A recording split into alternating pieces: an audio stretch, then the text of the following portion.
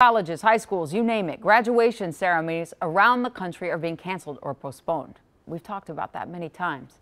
But one graduate student and ER staffer saw an opportunity in this problem, sparking a national movement that you could be a part of right now. Chris has more on the initiative called Gowns for Good. Pomp has met an unfortunate circumstance as graduation ceremonies fall victim to the threat of the coronavirus. But a good gown is a terrible thing to waste. So we started two weeks ago, and it started as an idea. Fan Moore is just wrapping up an MBA at the University of Vermont. He also works as a physician's assistant at the University Hospital.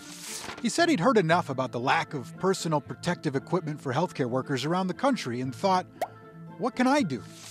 And then it hit him. The fact of lack of PPE coupled with graduating seniors and their gowns going unused right now, we thought what a better solution than to combine the two in an effort to support our local healthcare workers. Born was the organization called Gowns for Good. Fan and his team are asking an estimated 3.7 million high school graduates and an estimated 4 million college graduates, heck, every person with a graduation gown collecting dust in the closet, to donate it so it can be used to fill the PPE shortage across the U.S. How do you know if graduation gowns can qualify as PPE? The key here is these are not sterile surgical gowns, these are isolation gowns, which qualify and can be used to see patients. Fan says the gowns are surprisingly effective. A liquid protecting barrier covering the neck, chest, forearms, and waist. It's easy to don and doff.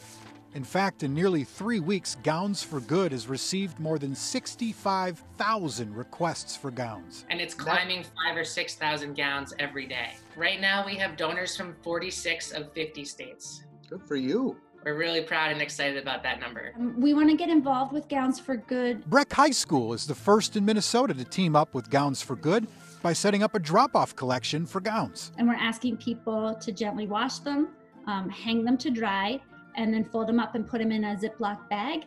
And then we'll have curbside donation. You don't even have to get it out of your car. Um, you can just throw it in a box. After they donate their gown, we're sending them a logo, our logo, with instructions to cut it out and actually put on the mortar board of their graduation caps. And with this, if they still have postponed or digital ceremonies that are occurring, they know that they can wear this with pride. So check your closet, phone a friend, tag a school. Let them know there's a way to help the front lines right now by wearing the cap and giving the gown. What can I do? It's something I've asked myself quite a few times. Maybe you have too. So here's something that maybe you can help out on. The gown drive at Breck High School that Chris mentioned is going to be this Saturday, May 9th. No, I'm sorry, not this Saturday. It's May 9th from 10 a.m. to 2 p.m. That's next Saturday, and it will be at the Golden Valley campus. If you don't have a gown and want to help, Gowns for Good is taking donations, and 100% of that goes towards the big shipping costs to get the gowns where they need to go.